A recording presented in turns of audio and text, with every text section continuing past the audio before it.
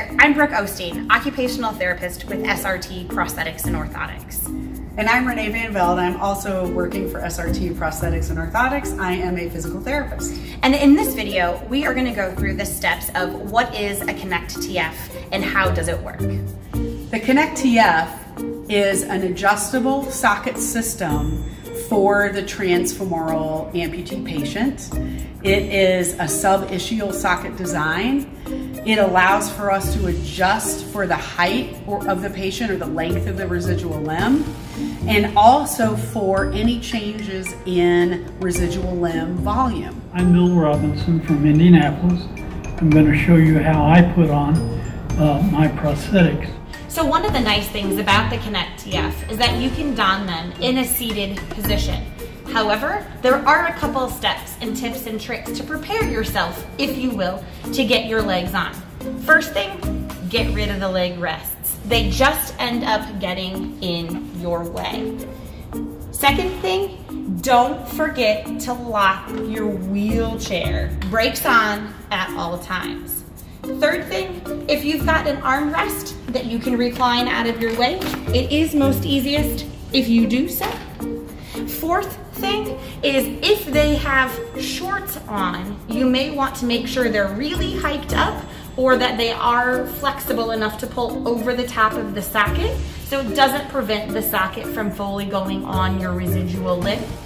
The fifth thing is when the socket slides on, and Bill's a champion at this, just watch in just a few moments. When you don the socket, make sure that residual limb is up nice and high so that the socket doesn't then on the backside run into your wheelchair. All right, Bill, let's do it. First thing I do is get the 45 degree position to make it easier.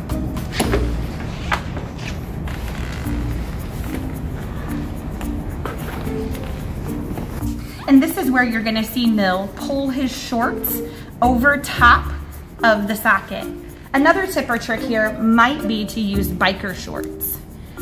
So like a pin system, Bill is gonna line the pin up with the end of the socket. Once it's in the shuttle lock, he merely turns the dial, the dial pulls the pin into the lock, and Bill is now secured into the socket. To adjust the tightness of it, there is a lever arm. You're going to push the lever away from the patient and you are now cinched in based on your girth and the prosthesis is secure. I want to uh, put on my other one here and show you how the pin is used. I uh, normally put the liners on in bed without my shorts on. It's much more convenient get them where they belong, get the air out of the liner. I store my pin in the prosthetic. You simply thread it onto the liner, getting it started straight. It will thread very easily when it's uh, done correctly.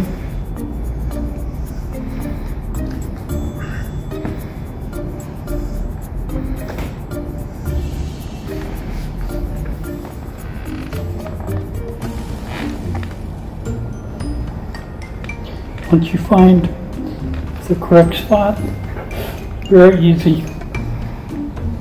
to thread on.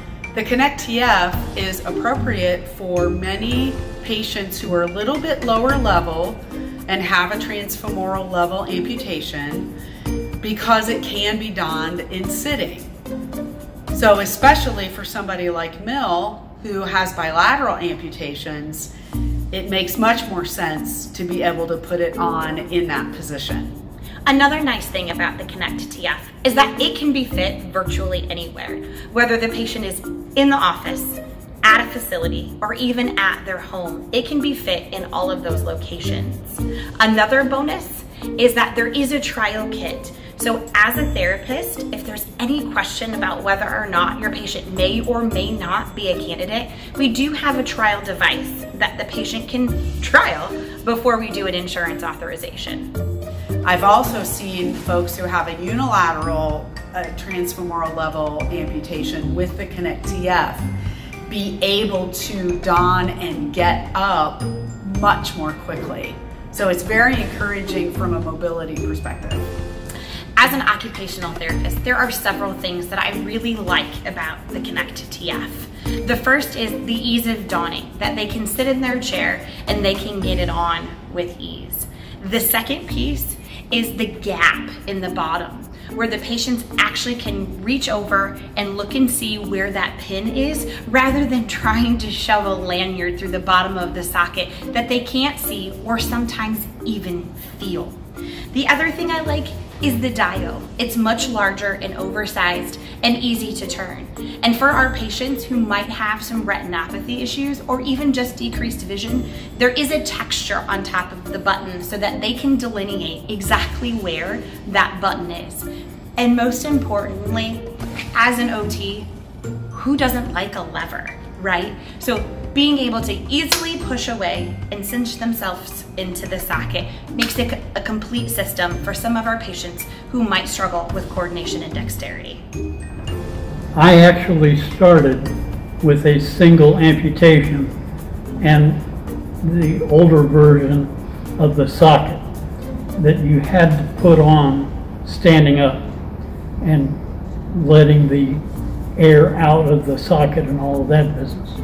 When I had my second amputation, I was fitted with a TF socket, and the instant the technician put it on, I said, I want another one. And that's when I got the uh, matching TF to replace the original socket. So being able to put them on sitting down, pretty much unilateral, being able to do it by myself, um, made it a clear choice for me and a much preferable option.